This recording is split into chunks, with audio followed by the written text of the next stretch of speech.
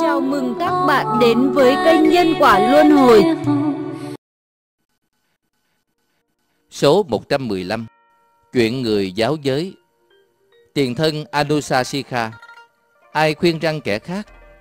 Câu chuyện này khi trú ở Kỳ Duyên, Bậc đạo sư đã kể về một tỷ kheo ni giáo giới người khác.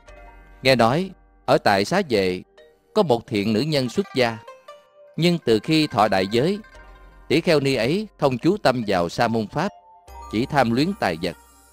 Tại chỗ nào các tỷ kheo ni khác không đi, Thì tại chỗ ấy nàng đi khất thực một mình. Và người ta cúng dường cho nàng những món ăn thượng vị. Bị trói buộc bởi lòng tham vị Nàng suy nghĩ, Nếu tại chỗ này, Các tỷ kheo khác đi đến khất thực, Đồ lợi dưỡng của ta bị tổn giảm, Ta phải làm thế nào để các tỷ kheo ni khác không đi đến địa phương ấy?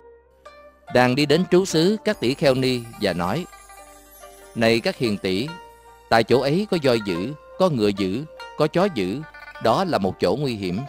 Chớ nên đi khất thực tại đấy. Nàng khuyên rằng các tỷ kheo ni như vậy. Nghe nàng nói Không một tỷ kheo ni nào dám quay đầu ngó về địa phương ấy. Một hôm Trên đường khất thực tại đấy Khi đi dội vào một ngôi nhà Nàng bị một con cừu hung dữ hút Làm nàng bị gãy xương. Người ta chạy đến, Cột hai khúc xương gãy là một. Đặt tỷ kheo ni ấy nằm trên một chiếc cán Khiêng nàng đến trú xứ của tỷ kheo ni. Các tỷ kheo ni nhạo cười nàng và nói, Tỷ kheo ni này khuyên các tỷ kheo ni khác đừng đi, Nhưng tự mình đi đến địa phương ấy, Do vậy bị gãy xương. Việc làm của tỷ kheo ni này Không bao lâu được chúng tỷ kheo biết. Một hôm, tại chánh pháp đường, Các tỷ kheo nói về hành phi công đức của tỷ kheo ni ấy này các hiền giả, tỷ kheo ni ấy khuyên răng các người khác, còn tự mình đi đến tại chỗ ấy, nên bị con cừu hung dữ hút cho đến gãy xương. Bậc đạo sư đến, hỏi các tỷ kheo đang thảo luận vấn đề gì. Khi biết vấn đề ấy, bậc đạo sư nói, Này các tỷ kheo, không phải chỉ nay, mà xưa kia nàng cũng đã lên tiếng khuyên răng, nhưng tự mình lại không làm theo lời răng, cho nên nàng thọ khổ lâu dài. Nói vậy xong, bậc đạo sư kể câu chuyện quá khứ. Thuở xưa, khi vua Ramadatta trị vì tại Ba La Nại, Bồ Tát sanh làm con chim, lớn lên trở thành con chim chúa, có hàng trăm con chim dây quanh và trú ở tuyết sơn.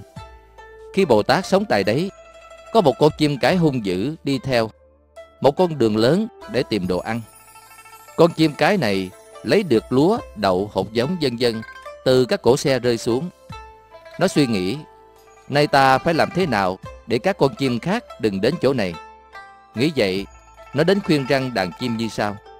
Có đường lớn đầy nguy hiểm, có voi, có ngựa, có cổ xe, do các con bò hung dữ kéo và các vật nguy hiểm khác qua lại. Không thể nào cất cánh bay lên mau được, chớ nên đi trên đường ấy. Vì lời khuyên ấy, đàn chim gọi nó là con chim cái khuyên răng. Một hôm, đang tìm mồi trên con đường lớn, nghe tiếng cổ xe chạy mau, con chim cái ấy quay cổ lại nhìn. Nghĩ rằng xe còn xa nên dẫn đi. Nhưng cổ xe ấy đến gần nó mau như gió. Trong khi nó không thể bay lên được, Bánh xe cán phải nó Và xe vẫn chạy dùng dục. Khi họp đàn chim Chim chúa không thấy nó bèn hỏi, Con chim cái khuyên rằng sao không có mặt? Hãy đi tìm nó.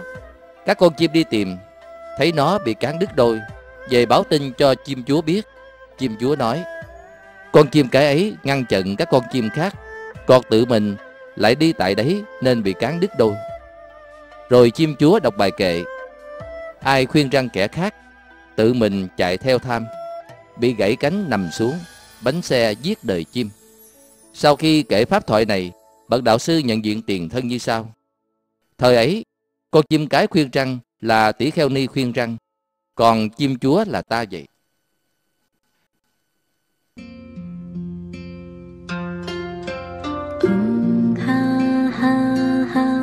问什么的所